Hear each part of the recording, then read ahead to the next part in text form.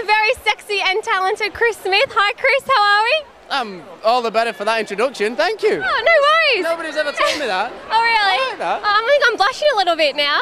But you look very, very handsome. Who are you dressed by today? I'm just by Don Bagnato. Um, year in, year out, every big event, I always go with the same man. It's either him or Arthur Galan, so they never let me down. And we went for a little bit different, you know, with a three piece instead of a straight cool. tux. They, uh. Ivory bow tie instead of the black. So, you know, he's trying to mix things up. Yeah, very nice. Now, how are things going with Myer at the moment? You're doing a lot of work with them. No, it's going incredibly well. You know, I, I never thought when I landed here that I would. Sorry for the word landing again, but land a role like Myer. Uh, and the fact it's just continued has been mind blowing. They've been incredible for me, and hopefully I can repay them in some way. Yeah, that's cool. Now, you've got such a busy schedule. How do you find time to work out, to do crazy fun things outside of work? Well, you work out as soon as you wake up. That's the rule. Wake up, don't think about it, don't give your mind time to think of any excuses.